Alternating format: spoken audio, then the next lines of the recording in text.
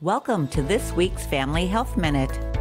This week's minute looks at how sleep affects your immune system.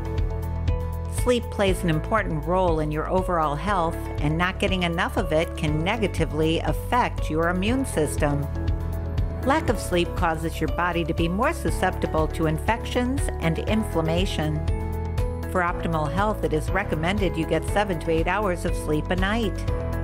This will help your immune system and also protect you from other health issues, including heart disease, diabetes, and obesity. Even short daily naps for no longer than 30 minutes have been shown to have positive effects on your immune system as well as decrease the negative effects of stress.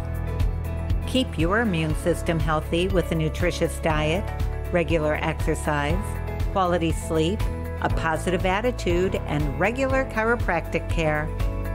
Make chiropractic a regular health habit for the whole family to ensure your spines and nervous systems are working the best they can. And that is this week's Family Health Minute.